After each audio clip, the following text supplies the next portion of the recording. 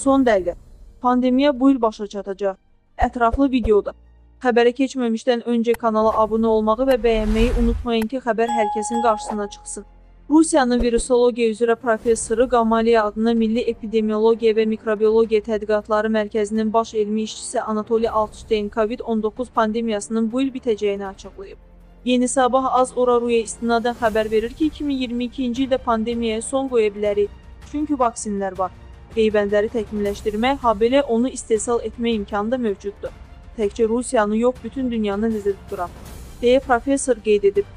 Rusiya Elmlər Akademiyasının müxbir üzvü Engelhardt adına Molekulyar Biologiya İnstitutunun hüceyrələrin çoxalması laboratoriyasının rəhbəri Pyotr Çumakov isə hesab edir ki, pandemiyanın insan həyatına təsiri getdikcə azalacaq.